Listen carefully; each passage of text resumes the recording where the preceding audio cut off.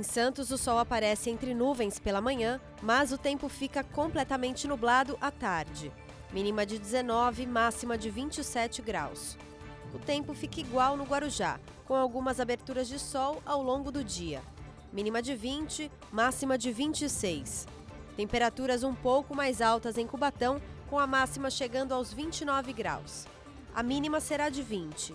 O sol aparece entre nuvens e à tarde haverá 30% de chances de chover. São Vicente tem tempo nublado com algumas aberturas de sol. Mínima de 19, máxima de 27 graus. O sol aparece em Praia Grande, mas entre nuvens. A mínima será de 20 e a máxima de 26. Mongaguá tem tempo quente e sol ao amanhecer. À tarde haverá muitas nuvens e pode chover. Mínima de 21, máxima de 29 graus.